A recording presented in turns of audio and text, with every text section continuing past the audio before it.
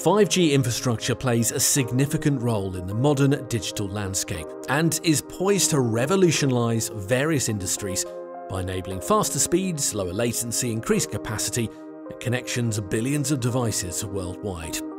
And talking worldwide, our top 10 roundup highlights a variety of companies and how, with widespread geographical presence, their efforts to expand 5G infrastructure deployments on a global scale, both while in competition with like minded business and by working together towards a common goal. Before we begin, please make sure you subscribe and hit that bell button to keep up to date with the latest in mobile news. And with that, here we are, the top 10 global 5G infrastructure companies, their leaders. Starting off our list at number 10 is Tian Chong from Singtel Asia's leading communications technology group, Singtel. They invest in research and development and have received recognition for its thought leadership and achievements in 5G infrastructure. They joined as Chief Exec Officer in May 2023 for a decade at HP and contribute to Singtel's efforts in 5G infrastructure development, network deployment, and overall strategy implementation. In at number 9, we have Annabelle Huo from Comba Telecom a 5G infrastructure giant known for its comprehensive portfolio of solutions, research and deployment focus. Comba Telecom contributes to the development and deployment of 5G networks on a global scale. Annabelle is Comba's Senior Vice President and has extensive experience in the telecommunications industry and contributes to the company's 5G product development and market expansion.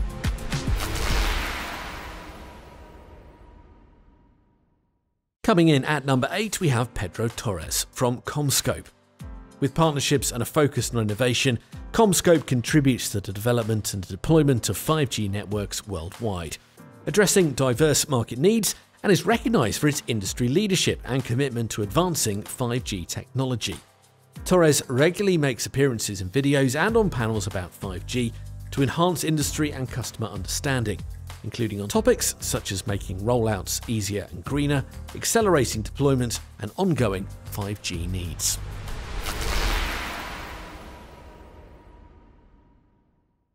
At number 7, we have Thomas Arnoldner from A1 Group. Although uncertain of what the future holds, A1 Telecom attests it is geared up for future demands. The brand's unleashing the potential of digitisation by accelerating 5G rollout plans across CEE markets. CEO Arnoldner heads up A1 and his future orientated, optimistic, and passionate outlook to leadership, partnered with his extensive experience, propels A1's place as a 5G infrastructure company.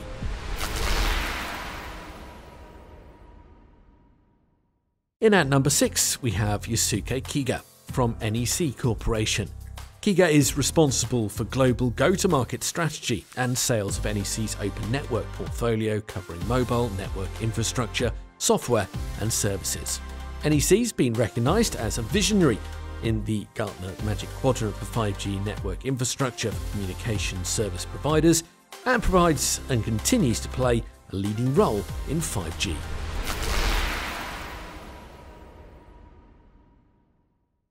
Marking the halfway spot on our list is Mark Wally from Fujitsu.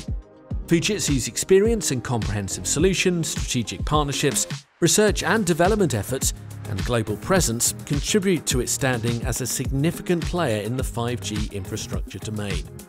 They became head of products 5G Edge in April of this year and will lead the brand, which has made significant contributions to the development and deployment of 5G infrastructure, to continue its impact worldwide.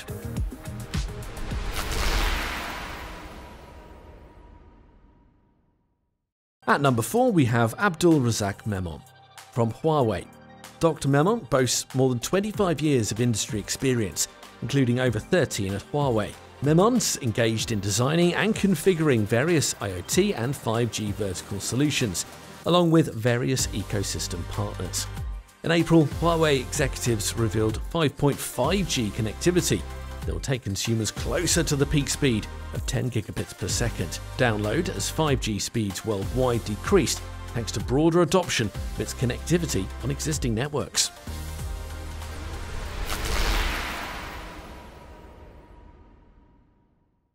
Moving into our final three entries, and in at number three is David Cooper from Ericsson. Ericsson was the first company to bring 5G to four different continents and has been able to roll out 5G using their existing hardware. The 5G service is available to 63 countries and there are 147 live networks. Cooper's worked for Ericsson for more than 18 years before taking on the role of CTO, spent six and a half years as head of networks, 5G, and IoT, alongside an 11 year stint as head of sales and engagement practices.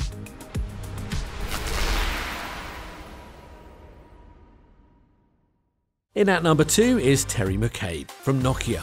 Celebrating enterprise customers partnering with them to deliver the extraordinary, Nokia has 286 commercial 5G deals worldwide, 98 live 5G operator networks.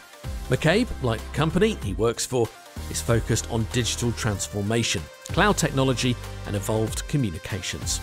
Although Nokia boasts an array of 5G achievements, in 2021, Nokia, in partnership with TPG Telecom, deployed Asia Pacific's first live 5G femtocell, with the solution allowing operators to provide their customers with superior indoor 5G coverage. Finally, coming in at number one, we have Dr. Woojune Kim from Samsung. Samsung continues to push for 5G delivery and provides commercial 5G services across the world. Dr. Kim was at the forefront of how Samsung made preparations to lead the 5G era.